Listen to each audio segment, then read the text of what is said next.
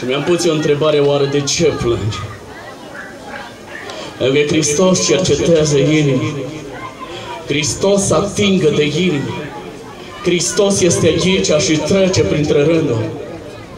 Dacă noi ne vom ruga Domnul și dacă păstrăm liniștea și să spunem, Doamne, nu vrem să ascultăm pe fratele Gheorghe, ci pe Duhul Sfânt. Doamne, nu vrem glas de om după masa aceasta, și glas de Dumnezeu.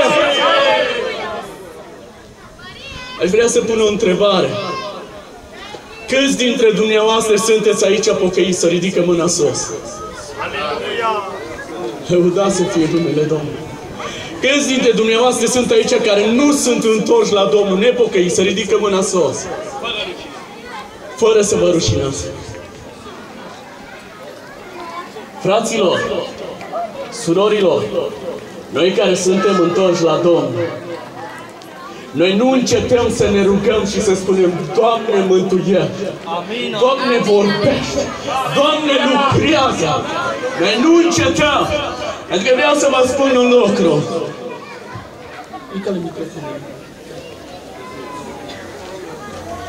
În după masa zilei de astăzi, diavolul va pierde și Hristos va birui. Diavolul va pierde și Dumnezeu în cer să bucură. Pentru că aici între noi este cineva pe care nu poți să-l vezi.